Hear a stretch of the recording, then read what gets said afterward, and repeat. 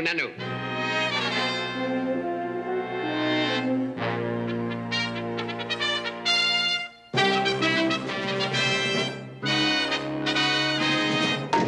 Shazbot.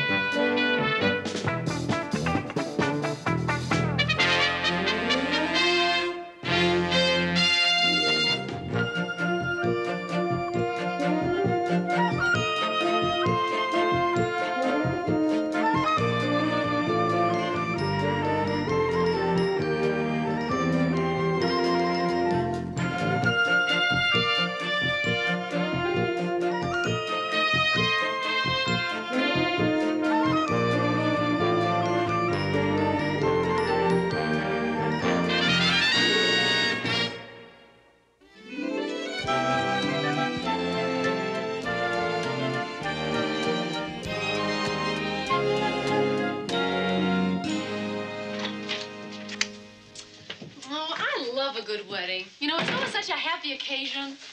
Not for that poor sucker in the white dress. You mean the bride? I couldn't tell they had that net over her head. What a really vicious tribal custom, you know? I knew they had it in for her when she tried to make her getaway down the aisle. They had that midget holding her back by the dress. And I knew it was really over for her when the guy dragged her out front to meet that vicious mob. What vicious mob? Well, the one that was pelting her with little white pebbles. No wonder married women get so many headaches.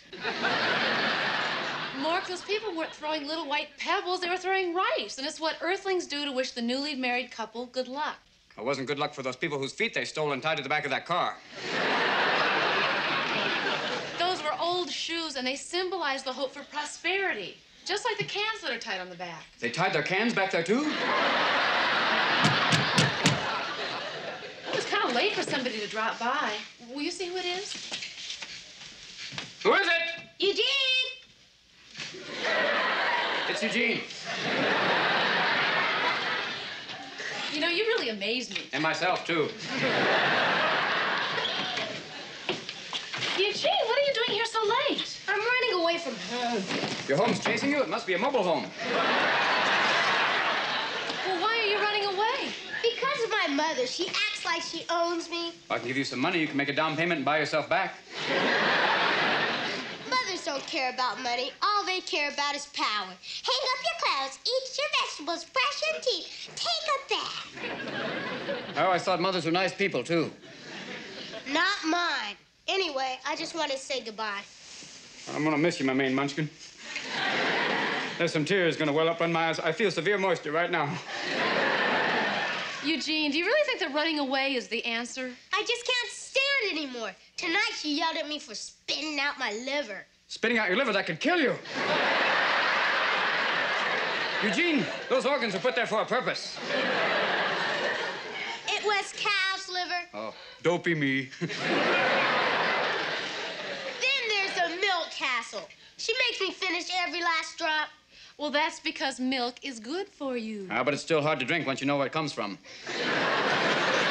Eugene, in a couple of days, you're going to look back on this whole thing and you're going to laugh about it. No way. This has been building up since I was three, maybe longer. I can't remember before that. she didn't even like my Mother's Day present, and I saved a long time to buy that snake. I didn't realize children were so persecuted. Well, so long, Mort. What it was, Plasma. Mindy. Eugene, I hate to tell you, but as bad as you think you have it at home, you're no worse off than any other kid your age. Now, look, I happen to know your mother, and I know that she's a nice, sweet, and fair person. So she got to you, didn't she? Look, your parents are probably worried to death by now, so I'm going to take you home for your own good. Why didn't anyone take me to Disneyland for my own good? Come on. No, no! You're not gonna take him back to that tyrant. I grant him parental asylum. Hell no! We won't go!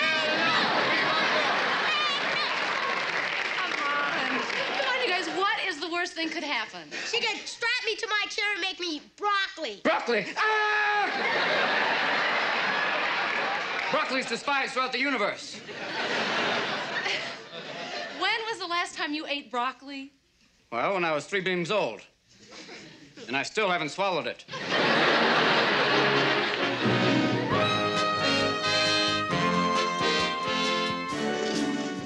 Eugene's parents weren't upset? Not at all. They had a feeling that he was with us. He left a note saying to forward his allowance to my house. Kids do some crazy things sometimes. Oh, yeah, well, that hardly comes as a shock to the father of an ex four year old who once tried to defect. I... No. Oh, yes, yes. You got very mad at me one day when I hollered at you for drying the dishes with the cat. Then you went up to your room and you got your pillow and your teddy bear and your pine cone collection. You announced you were running away from home. Where did I go? Uh, nowhere. There were no volunteers when you asked who was going to drive you.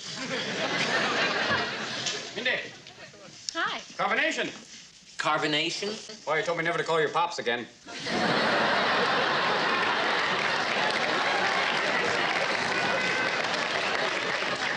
Mork, you're a gas. Hello. So, what have you been doing this morning? Well, I was making observations of your primitive planet. You know, I'm really impressed with how your police deal with tension here by throwing parties for the citizens. I saw this one policeman who had stopped a guy and was teaching him how to dance by touching his nose and going, Come on now, can you do it? when he did that well, he gave him a present and gave him a chance to blow up a balloon, then he gave him a massage and gave him a free ride in his car. I was so impressed, I jumped out of the crowd that was watching and said, Police hospitality! Police hospitality! Well, that's it for dear. For our first lesson, you did very well, Holly. Before long, you and the piano will be the best of friends. I'm not ready for that kind of relationship, Mrs. Hudson. Well, I'll go in back and pick out some practice books for you if you'll wait here. I'm young. I have time. Hello, I'm Donny Osmond. All right, I'll tell you the truth. My name is Mork. Nanu no. Are you a stranger? Well, it depends on where I am, actually. Then I'm not supposed to talk to you. It's for my own good. Holly, I think you can talk to Mork. He's a good friend of Mrs. Hudson's and mine. He's okay. So what brings you here, little cherub? Well, my mother said I should take piano lessons because I'd be glad to know how to play when I was 20. So, how'd your lesson go? I'd better not die when I'm 19. Hostility rating 104.9. Are you angry at your mother, too? Let's just say she owes me. Come along, Holly, dear, and I'll show you what I want you to practice. What a cute little girl. Oh, she's lucky. I never got to practice piano when I was a kid. They could never fit it in the test tube. Eugene! Was action faction? Let it slide, glide, get down. Now, get back up again.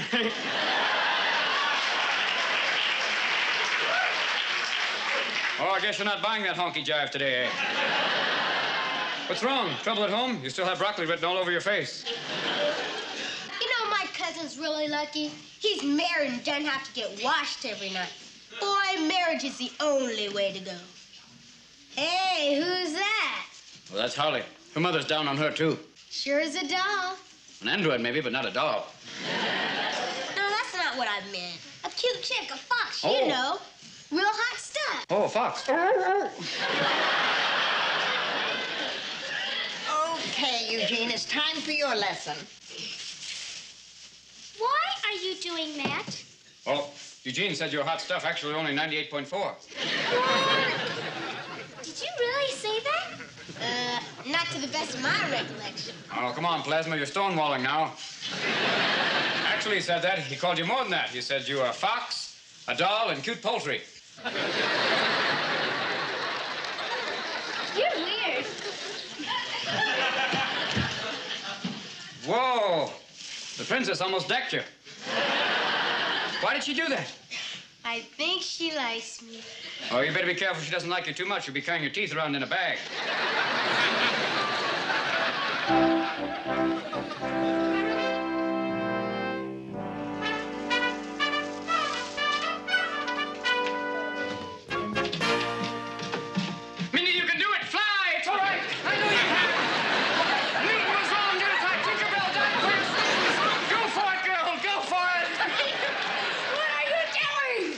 I was just trying to help you lift off. What you have to really do is shave your head to reduce the friction. Come on! Let's try again! There we go! Up. Oh, There's no place like home. Mork, I wasn't trying to. fi- I'm late for lunch and I've got to meet Sally I'm trying to dry my nails. Oh, that's easy. Here, let me show you. Just have to wipe them off like this right off there. Whoa. Here we go. Whoa. Thanks. Well, what are friends for? Whoa. You know, Mindy, you've got to wash your hands a little bit more often. Mindy, there's one thing I don't understand. Boy, you could have fooled me. Well, Eugene told me he liked Holly, but he didn't tell her. Well, you see, Mork, some people are shy. They might like someone, but oftentimes they can't express their feelings because they're afraid the other person might not like them. Oh. Then why did Eugene think Holly liked him when she punched him and told him he was weird? Oh, well, boys and girls often punch or push or hit each other as a way of getting close. Punching and hitting and calling someone names means you like them? Yeah, it can. Then the Rams and the Cowboys are lovers? I'll get that. Might be Avon. Oh,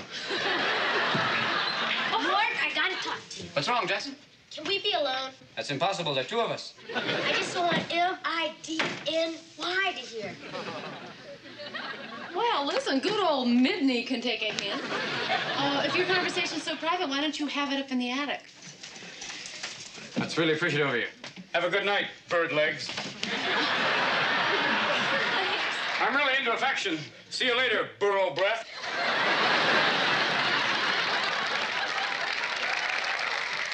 So this is your pad? No, no, this is my room. This is my pad over here. Look at this. It's really amazing, too. If you move it real fast, it looks like blank pages. I don't know how you keep it so neat. Well, tidiness is my life. Well, I'm ready. What is your question you want to ask me? I'm waiting with a worm on my tongue. What? Bated breath. Oh. Mort, I think Holly and I are in love. Oh, this sounds serious, Plasma. We better sit down and analyze this. Beat. So, what are the early warning signals? Well, she called me piano mouth, In the mouth, bozo brain, bozo brain. and something I've only seen once on the bathroom wall. Sounds like the real thing. We have so much in common. We both can't stand milk, liver, bass, broccoli, and mothers. Her mom made her get rid of her pet goldfish. Oh, sounds serious. Did she take it back to the store? They wouldn't take it. It's been dead for a week. That's really a pity because they're easy to train that way. Only if Holly and I could run away together, our problems would be solved. Well, you tried that once before and it didn't work. I didn't go far enough. This time I'd go on a ship so the captain would marry us. And then our parents couldn't bug us anymore. A captain of a ship can marry people? I saw it in a movie once. See, I came here in a ship. I was the only person on that ship. Ipso facto, then I'm a captain. Hey, that's great. Would you marry Holly and me? Sure, no big deal. Come up here tomorrow afternoon after school and it's yours. Right on. Sam, blam, Sam, blam. By the way, you better not tell anyone we're getting married. Eugene, are you sure you're doing the right thing? I thought people here only get married when they want to have children. We don't need them. We are children. Makes sense, my man. Boy, am I a dummy.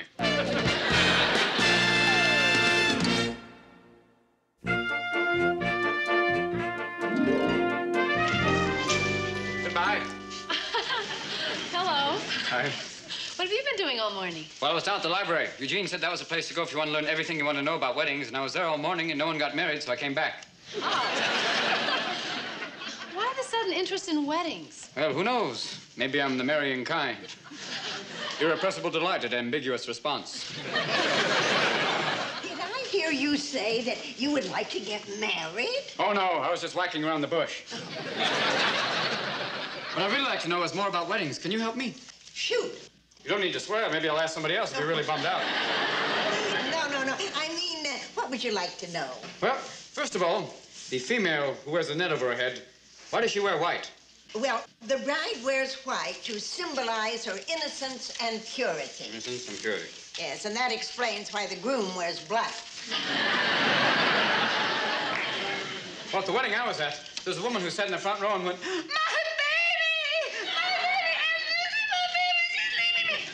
important job? Yes, that, uh, that's the bride's mother. The bride's mother has a very important job, Mork. She and her husband pay for the whole wedding. Oh, no wonder she was crying. No, actually, she helps out a lot before the wedding, too. She helps the bride pick out her bride's dress and, and get a blood test and, and sometimes even pick out the license. About the only thing the mother doesn't do is give the bride a shower. The bride's friends do that. Ah, let me see. You Give me a lot of information here. Let's see. First of all, they take a wedding test, then take license with each other, and finally they jump in the shower with the bride and hose her down.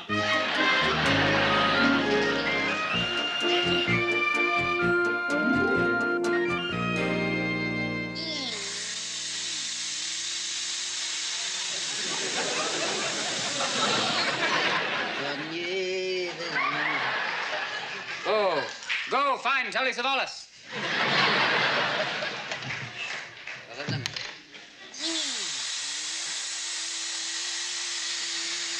What are you doing?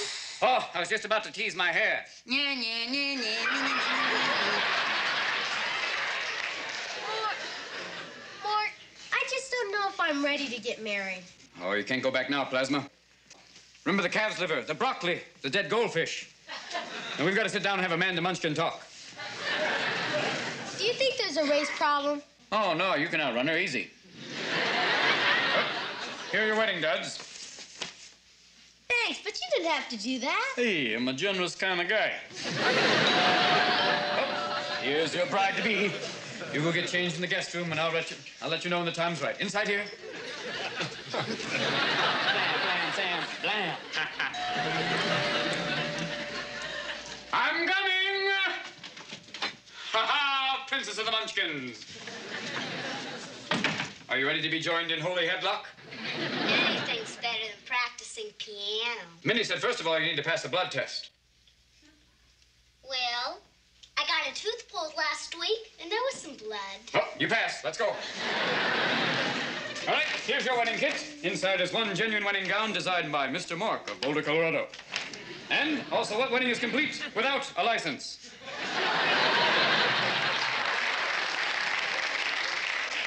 All right, Eugene is changing in the guest room. Now you go change in Mindy's room. When you hear the music, come on up. By the way, have you had a shower today? No, but the dog licked my face. Close enough.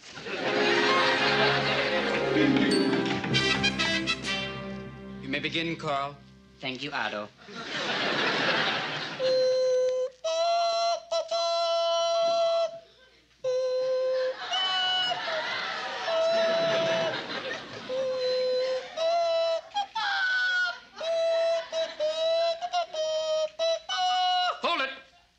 Carpet.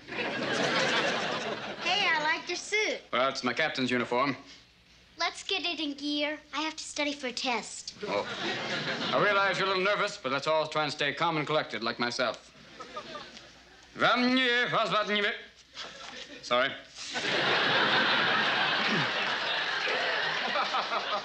Do you take this three-headed slimy thing to be your...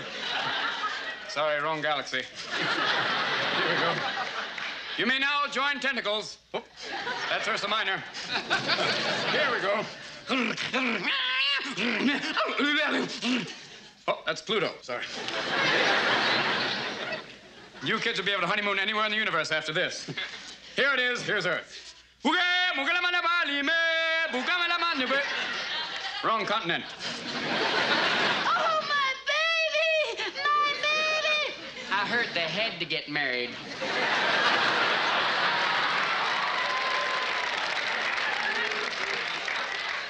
Mork, I'm not knocking your ceremony, but we wrote our own vows and we'd like you to read them as written. Oh. Oh, that's nice. Do you, Eugene, take Holly to be the princess of your dreams and not make her take baths, piano lessons, or eat everything on her plate before getting dessert? I do. Do you, Holly, take Eugene to be your main man and principal squeeze?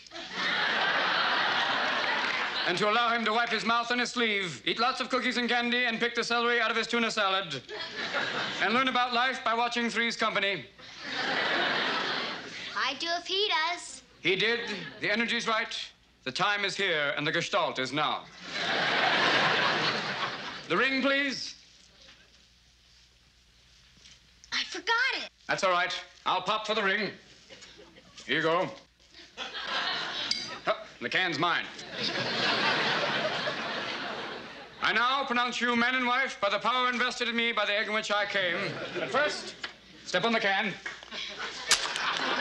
Matzah bread. You may now kiss the bride. Kiss? Yuck! No way! Guess I should take some wedding pictures instead. Watch the fluky. You're now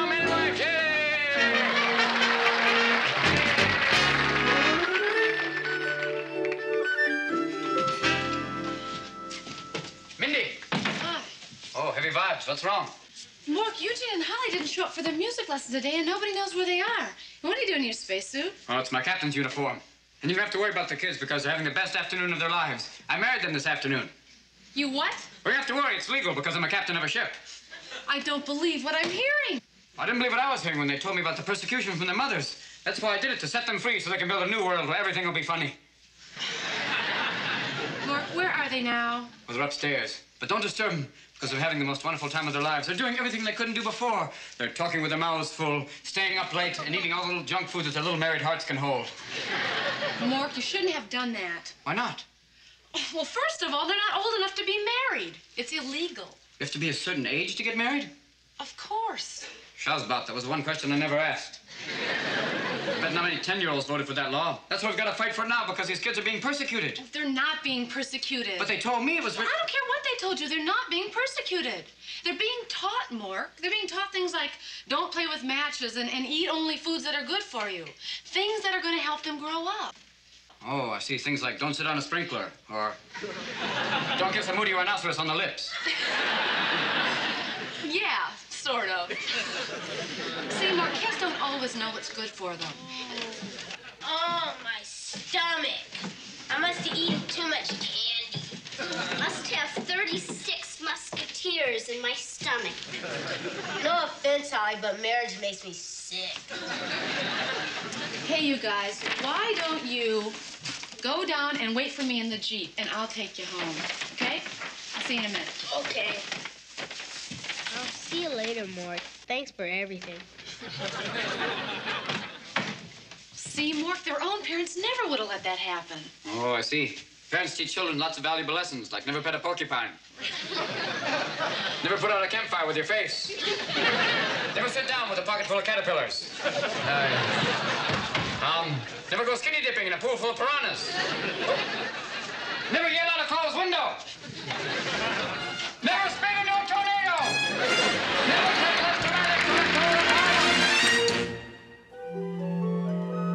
Mork calling Orson. Come in, Orson.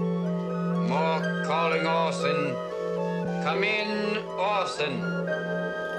Mork calling Orson. Come in, Orson. What is your report about this week, Mork? Oh, it's about a wonderful Earth custom called marriage. Marriage. What's that? Well, it's a ceremony a man and woman go through when they love each other very much and they want to have children. Why do they want to have children? Well, so they can make them do all sorts of things that children will hate, so they can grow up to be better people or even adults. Don't the children resent that? Well, some of the children feel they're being treated unfairly, and I've even heard some say they hate their mothers. And one, named Lizzie Borden, took a little too far. Earth mothers must be really mean. As an orc in your immenseness, I have my own opinion. I'd like to share it with you briefly for a moment. The only thing worse than a mother is not having one at all. Oh, Mork, there's something I've been meaning to ask you. Lay it on me, your circumference. Remember that broccoli you ate when you were three bleams old? Did you ever swallow it? Oh, yes, sir. It's all gone now. Good. Good night, Mork. Good night, your eclipse. Not, nanu, nanu.